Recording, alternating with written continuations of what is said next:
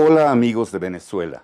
Jorge Fernández les participa con mucho placer que el sábado 28 y domingo 29 de marzo se llevará a cabo el seminario médico Farmacología en el Deporte.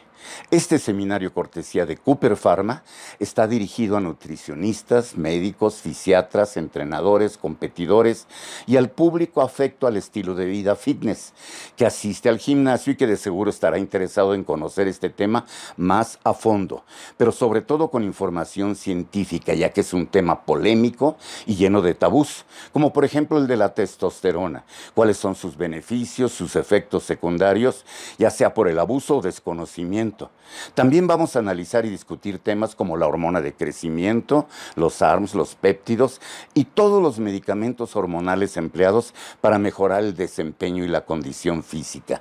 Será un placer contar con su presencia. Los esperamos. Aparten ya su lugar.